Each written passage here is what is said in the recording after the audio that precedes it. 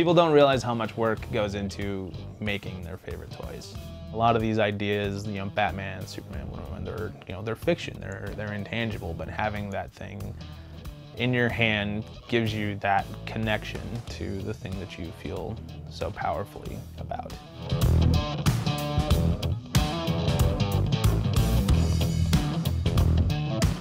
My name is Kyle Wlodyga, and I'm an illustrator and toy designer.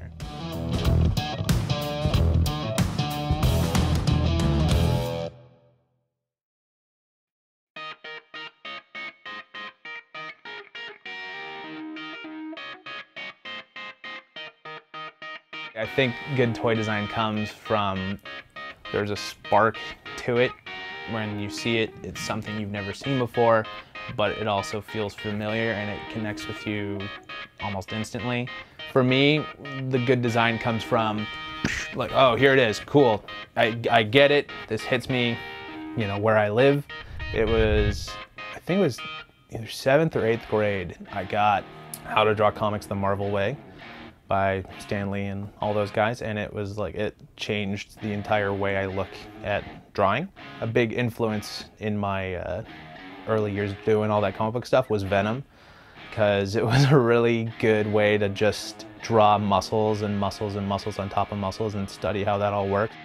So with Venom, you could like work on your muscles and getting those all right, but then do this gnarly monster face and it looks fine.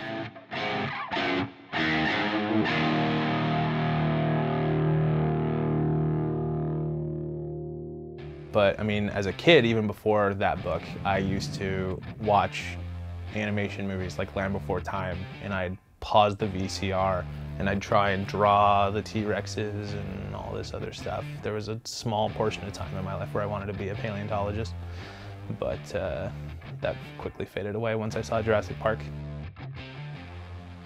And I just, I just kept doing it since then. It's kind of always been something that's been part of me.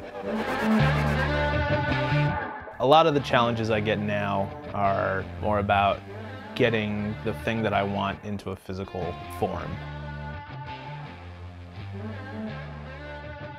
As a toy designer, it's really exciting to put all this detail and all this stuff, but if it's not going to be able to separate out of a mold in mass production, then there's no point to it. So you have to work within your limitations while also still being creative.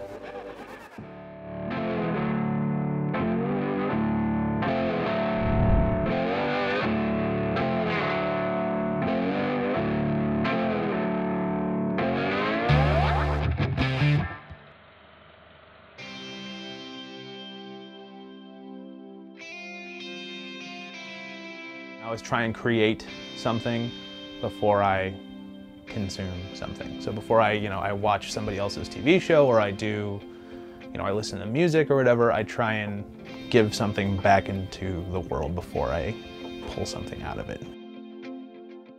I think I wouldn't be able to get out of bed if I didn't know I would be able to do something creative that day, be it toy design or graphic design or just illustrating for myself.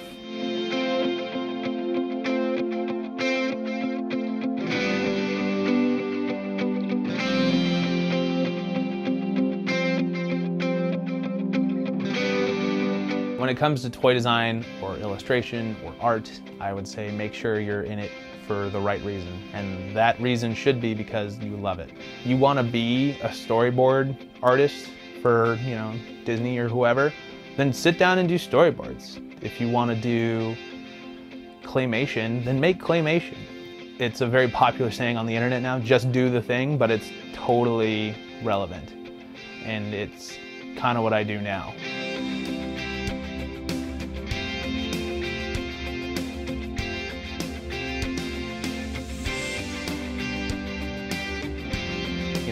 Now that I've, I've gone into toys and I, I, am here now, I want to keep making toys. So in my own time, I've been making, I've just been making toys. And that you just, like I said, just do the thing. And with enough, you know, willpower, you'll make it.